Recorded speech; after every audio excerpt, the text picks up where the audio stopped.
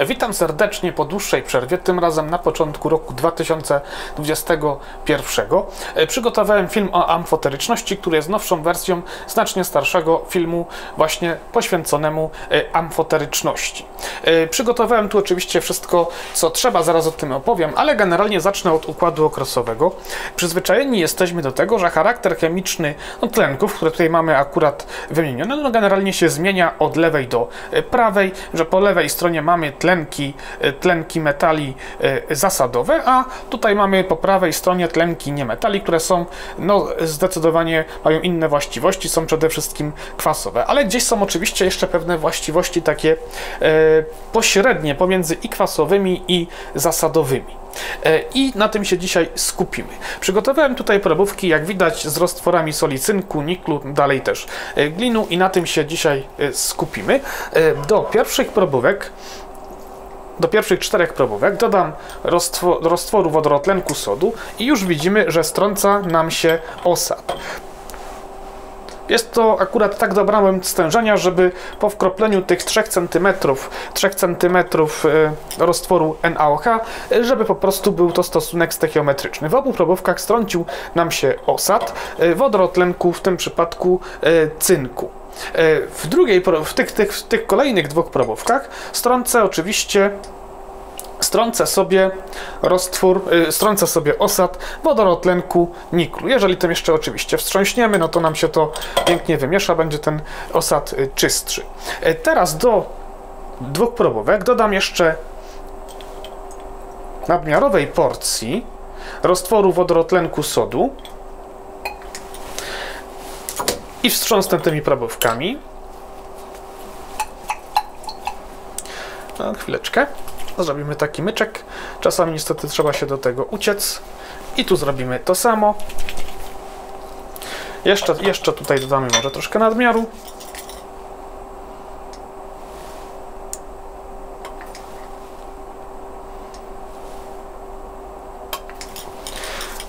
I jeszcze raz wstrząśniemy. Tutaj mamy probówkę z wodorotlenkiem niklu, a tutaj będzie probówka z wodorotlenkiem cynku. Widzimy, że ten osad nam się roztwarza. Nie roztworzył się jeszcze całkowicie. Gdybyśmy poczekali, wstrząsali tym dłużej, to roztworzyłby nam się już całkowicie. E, widzimy, że ten osad się nie roztworzył. Z kolei, jeśli do tych dwóch pozostałych probówek z osadami wodorotlenków dodamy kwasu solnego,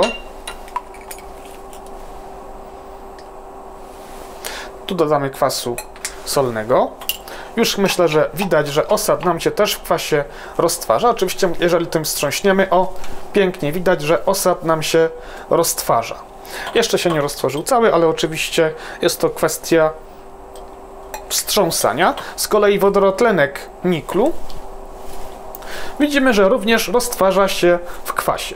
Na podstawie tych doświadczeń wyciągamy wniosek, że wodorotlenek cynku jest związkiem amfoterycznym, reaguje zarówno z kwasem, jak i zasadą, a wodorotlenek niklu jest związkiem zasadowym, nie reaguje z nadmiarem zasad, za to z nadmiarem zasady, za to roztwarza się w kwasach. Y, Podobną rzecz zaobserwujemy, jeżeli powtórzymy to doświadczenie z yy, wodorotlenkiem, z wodorotlenkiem glinu. Zresztą zaraz to może jeszcze też zrobię i porozmawiamy o sobie troszeczkę o tym, czym w ogóle jest amfoteryczność, z czym to jest związane, jak to wygląda też od strony takiej teoretycznej. Dodam znowu tego roztworu roztworu NaOH. W obu probówkach mam osad. O, może to jeszcze troszkę rozmieszamy. I do jednej probówek dodam teraz nadmiaru. Zasady. O, już proszę widać, że część osadu zdecydowanie się nawet podczas tego dodawania roztworzyła. A do drugiej dodamy kwasu solnego. Do drugiej dodamy kwasu solnego.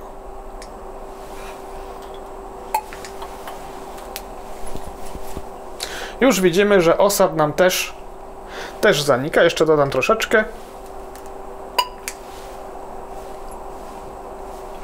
Widzimy generalnie, że osad uległ praktycznie całkowitemu, no prawie, że oczywiście jak dodamy więcej kwasu, to w końcu się w którymś momencie się rozpuści, jest to też kwestia mieszania. Y, to jest oczywiście dosyć typowe, co w szkole się uczymy. Widzimy, że zarówno wodorotlenek cynku, jak i wodorotlenek glinu są związkami amfoterycznymi. No przejdźmy teraz do planszy. Przejdźmy teraz do takich kilku planszy, które przygotowałem. Y, wzór wodorotlenku glinu w takiej takiej, zapisanym w takiej konwencji, jak zwykle zapiszemy wodorotlenki, moglibyśmy w konwencji przyjętej dla kwasów zapisać w taki sposób. Czyli, że wodorotlenek glinu jest takim kwasem trójprotonowym. To znaczy, że można by otrzymać taką sól, właśnie tego, tego kwasu e, glinowego, zwanego ortoglinowym, można by taki ortoglinian otrzymać. Z kolei w przypadku takiego tlenku, wodorotlenku e, glinu, możemy to zapisać w konwencji przyjętej dla kwasów tak, że jest to taki kwas jednoprotonowy i można byłoby otrzymać właśnie taką sól, e, na przykład sodu, taki, tu jest akurat metaglinian sodu. Ale chodźmy kawałeczek dalej. Chodźmy kawałeczek dalej. Jak to wygląda tutaj od strony teoretycznej? Wodorotlenek glinu roztwarza się, reaguje ogólnie zarówno z zasadą i daje sól, w której, e, ten, e, w której kation glinu jest, jest, wchodzi w skład anionu, a z kolei w reakcji z kwasami e, daje sól, gdzie metal, metal daje kation. Czyli tutaj metal jest w anionie, a tutaj metal jest w postaci kationu. W obydwu przypadkach powstają sole. Z kolei wodorotlenek niklu, związek zasadowy, nie reaguje z nadmiarem zasady, nie roztwarza się w nadmiarze zasady e, i reaguje z kolei z kwasem, roztwarza się w kwasie. Jest to związek e, o charakterze zasadowym. E, teraz jeszcze tak chciałem troszeczkę poopowiadać o na przykład glinie. Zobaczmy. Przygotowałem tutaj specjalnie kilka stróżek glinu. Jeżeli ja glin wrzucę do roztworu NaOH, tu jest taki bardziej stężony roztwór NaOH, żeby szybciej sobie y, zaczął z tym glinem radzić, radzić niż tutaj y, w tych probówkach użyłem, ale zaraz zobaczymy, co mam na myśli. Już widać, że zaczynają wydzielać się pęcherzyki gazu i zaraz to wydzielanie się tych pęcherzyków gazu y, zaraz się wydzielanie tych pęcherzyków gazu jeszcze nasili. Może te probówki przełożymy. O, przełożymy sobie, żebyśmy je tutaj mieli bardziej to już nie są takie potrzebne. O. A skupimy się teraz na tych e, probówkach. Jeśli ja wrzucę oczywiście wstążkę glinu do wody, do metanolu, a po co do metanolu to za chwilkę wyjaśnię, e, to generalnie widzimy, że glin roztwarza się roztwarza się w roztworze zasady. No w innych filmach pokazywałem, że roztwarza się na przykład bardzo intensywnie też w kwasie e, solnym. E, za to nie reaguje z wodą. I na tej podstawie niektórzy twierdzą, że glin jest metalem amfoterycznym. E, widzimy, że z metanolem też nie reaguje. Pytanie, czy to nas upoważnia do stwierdzenia, że glin jest metalem amfoterycznym, dlatego roztwarza się w kwasach, roztwarza się e, w zasadach i nie reaguje z wodą, bo o związkach amfoterycznych często się mówi, że z wodą nie reagują. E, niektóre związki amfoteryczne z wodą akurat mogą reagować, są takie przypadki, niezbyt liczne, ale generalnie mogą reagować. E, czy możemy w takim razie przypisać amfoteryczność pierwiastkowi glinowi? Zobaczmy, co tutaj przygotowałem. Jeżeli popatrzymy na tę zasadę, e, na, te, na to równanie reakcji, no to popatrzmy. Przecież to nie jest kwas, to nie jest zasada. Pierwiastki dzielimy na metale i niemetale. Mamy tu reakcję metalu i niemetalu. Jest to reakcja redox. Powstaje w tej reakcji siarczan sodu. E, dopiero gdy ja wezmę, gdy ja wezmę, muszę sobie zrobić chyba troszkę miejsca. O, no, chodź. Gdy ja wezmę zrobimy tak. To mamy reakcję kwasu i zasady. Dopiero teraz. Dopiero teraz możemy wyciągnąć wniosek, że y, siarkowodór to jest związek kwasowy, że tu jest kwas a tu mamy zasadę, ale nie na podstawie reakcji pomiędzy wolnymi pierwiastkami musimy, możemy wyciągnąć ten wniosek. Definicja amfoteryczności, zgodna z Jupak, mówi, mówi nam o tym, że amfoteryczne są związki, które są zarówno kwasami, jak i zasadami. Czy glin jest zarówno kwasem, jak i zasadą? No niespecjalnie jest metalem. Nie dzielimy pierwiastków na kwasy i na zasady, tak samo nie ma pierwiastków amfoterycznych. No zobaczmy, na przykład miedź tworzy wodorotlenek, dość słabo amfoteryczny, ale amfoteryczny, dość łatwo jest go jednak roztworzyć. Jeżeli ja wrzucę kawałek miedzi do e, roztworu NaOH, to tutaj zmian nie zaobserwujemy z kolei. Miedź nie będzie nam się roztwarzać, podczas gdy glin roztwarza się i to całkiem, e, całkiem wyraźnie, e, całkiem wyraźnie. No to przejdźmy kawałek dalej. E, skoro glin nie jest równocześnie kwasem i zasadą, tylko jest metalem, a e, co, co do kwasów i zasad, to związki są kwasami i zasadami, no to w takim razie pierwiastkom amfoteryczności nie przypisujemy, ale skąd wynika e, takie zachowanie się na przykład glinu, że z wodą nie reaguje, reaguje z zasadami i reaguje z kwasami, czyli podobnie jak wodorotlenki czy, czy nawet tlenki amfoteryczne. E, pozwoliłem sobie przygotować kolejną planszę. I co tutaj jeszcze zobacz? A, jeszcze może zanim do niej przejdę, to jeszcze zrobię jeden myk. Pokazywałem już na wcześniejszych filmach, dwóch przynajmniej, że glin wrzucony do roztworu siarczanu miedzi nie ma objawów wtedy specjalnie reakcji, podczas gdy w roztworze chlorku miedzi w roztworze chlorku miedzi już po chwili widzimy objawy reakcji. E, tutaj nam dojdzie do wypierania miedzi, podczas gdy tutaj nie zaobserwujemy przez dość długi czas żadnych objawów reakcji. Tu już nawet widać, że miedź e, na właśnie tych krawędziach nam się najintensywniej e, wydziela. I z czego to wynika? Wynika z tego, że w powietrzu glin jest spasywowany, a przecież my się tym glinem te doświadczenia wykonujemy w powietrzu. Glin jest pasywny już na powietrzu, nie trzeba go wrzucać do kwasu azotowego czy innych różnych utleniaczy, żeby glin był pasywny. Powietrze to też jest atmosfera utleniająca. Spójrzmy na te plansze. Jeżeli zobaczymy, e, na dysocjację kwasu solnego, no to wiemy, że potencjał wydzielania wodoru w takim roztworze o stężenia 1 e, mol na decymetr sześcienny tego kwasu, to jest potencjał wydzielania wodoru, to jest 0 V. To jest 0 V, to jest ten poten standardowy potencjał wydzielania wodoru. Z kolei w czystej wodzie, gdzie, która też dysocjuje z utworzeniem jonów H3O+, a przecież reakcja e, metalu z kwasem polega właśnie na, e, przede wszystkim na reakcji tych jonów H3O w środowisku e, wodnym. W wodzie też mamy te jony H3O oczywiście, tylko że w stężeniu znacznie mniejszym. W 25 stopniach to jest 10 do minus 7 mol na decymetr sześcienny. Potencjał wydzielania wodoru wynosi minus 413 tysięcznych volta. Z wodą będą reagować te metale, z wodą jako kwasem, które mają potencjał niższy. Teoretycznie glin więc powinien reagować z wodą. Ale z tą wodą nie reaguje właśnie ze względu na pasywację. Zobaczmy jeszcze na to. W środowisku zasadowym, gdzie mamy jeszcze niższe stężenie jonów H3O, mamy też jeszcze niższy potencjał wydzielania wodoru. Yy, ale Zobaczmy na to. Przecież dla, metal, dla kationów metalu też to działa. Jeżeli będziemy obniżać stężenie tych kationów metali, to równocześnie obniżymy potencjał roztwarzania metalu.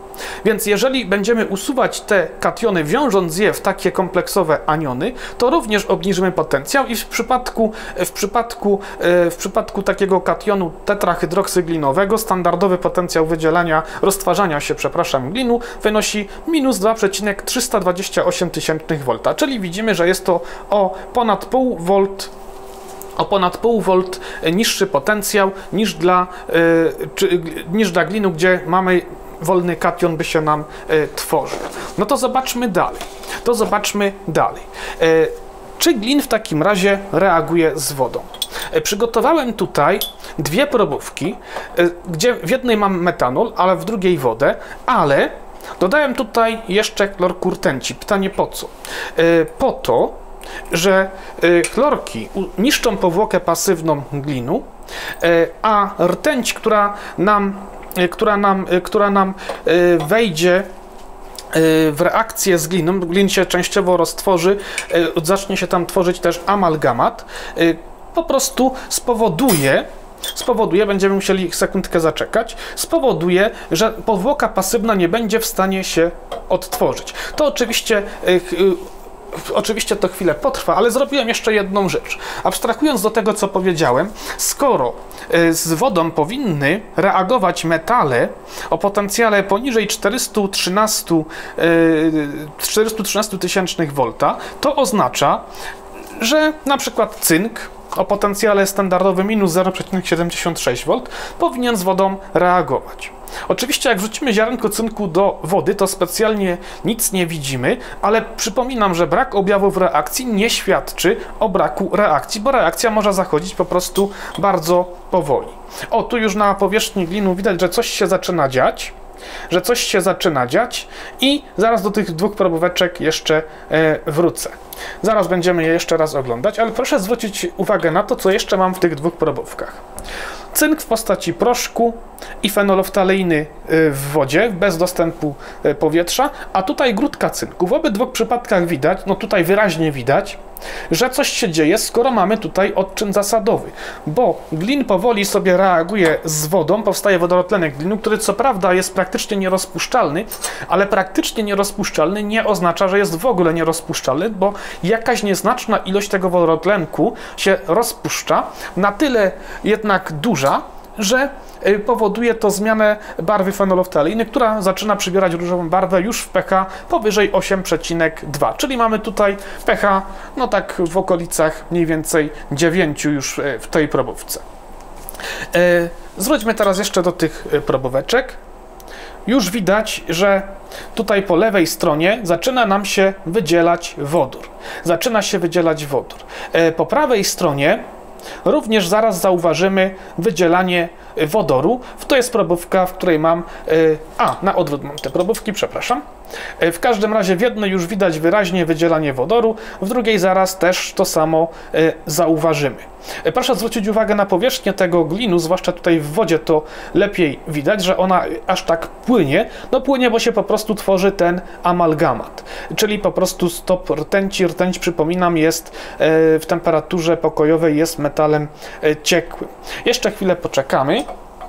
Jeszcze chwilę poczekamy, ja jeszcze e, opowiem o następnych e, planszach, co tutaj przygotowałem. O, na przykład zobaczmy, e, przecież siarka reaguje i z kwasem, i z kwasem, i z zasadami. W obydwu przypadkach. Czy to świadczy o tym, że siarka jest pierwiastkiem amfoterycznym? Absolutnie nie. Absolutnie nie świadczy o tym, że jest pierwiastkiem amfoterycznym. Więc to akurat tyle. I teraz, teraz, jeżeli zobaczymy na te plansze, no to widzimy, że glin pozbawiony pasywacji reaguje na przykład z metanolem, i reaguje też z wodą. Tutaj zaraz też zobaczymy, że, że w obu probówkach będzie, yy, o już widzę, że się powoli zaczynają wydzielać pęcherzyki gazu. Równocześnie będzie ta zawartość probówek mętnieć z tego powodu, że przecież wodorotlenek glinu jest w wodzie praktycznie, yy, czy, czy tam nawet w metanolu jest praktycznie nierozpuszczalny. Więc w obu przypadkach będzie nam ta zawartość yy, mętnieć. Co zresztą pod koniec, pod koniec chyba zobaczymy. Jeżeli zobaczymy teraz na roztwarzanie glinu w roztworze zasady, to przecież wydziela się tutaj dodatkowo wodór, bo jest to reakcja redoks, a nie reakcja kwasowo-zasadowa.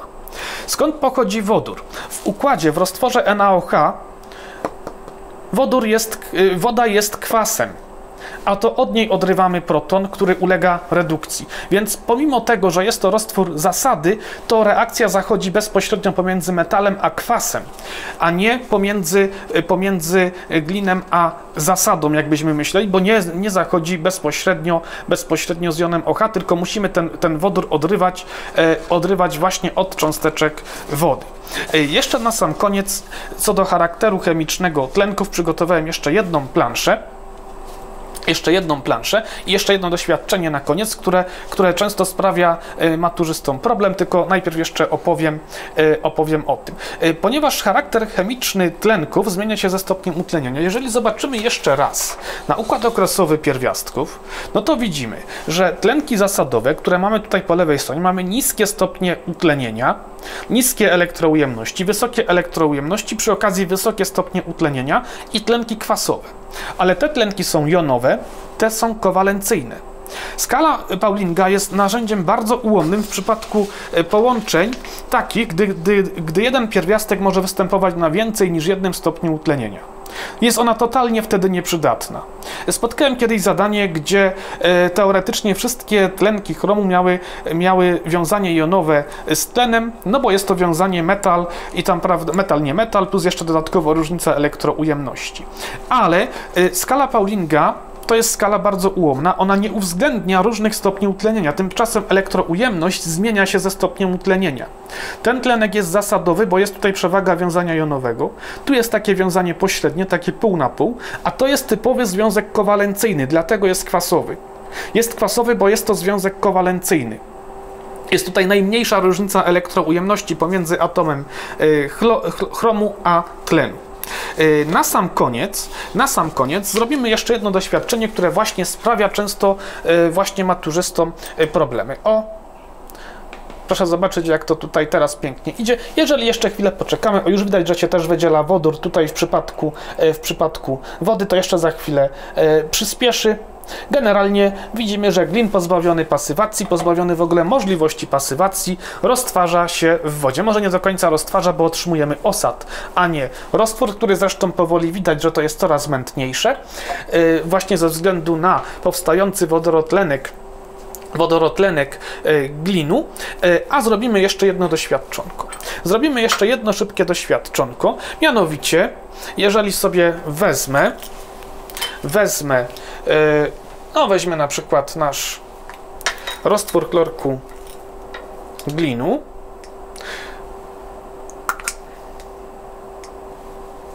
Następnie strącimy wodorotlenek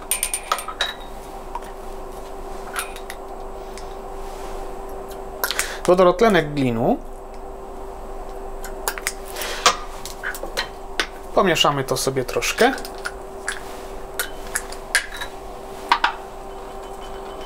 No chyba wrzuciłem trochę za mały bączek, ale, ale może i nie. E, jeżeli dodam teraz nadmiaru, już tam jest lekki nadmiar, doda, dodamy nadmiaru, no to się nam oczywiście wodorotlenek e, tego glinu roztworzy i powstanie nam glinian.